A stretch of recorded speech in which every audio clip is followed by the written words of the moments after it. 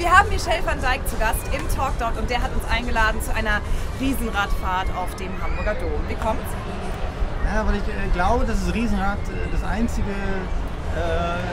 entertaining äh, hier ist in Hamburg, äh, wo man nach 30 Jahren mal wieder hingehen sollte.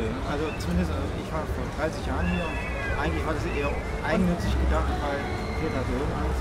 Ich muss auch auf den Boden, tut mir leid, das Ja. ist mir zu hoch. Das ist echt, die Höhenangst ist echt. Ich halte Peters Hand und wir werden jetzt Peter ein bisschen hier runter betreuen So ist im es. Riesenrad. Ich spiele ein bisschen Mutter, Vater, Kind. Peter, alles gut, wir sind gleich wieder unten.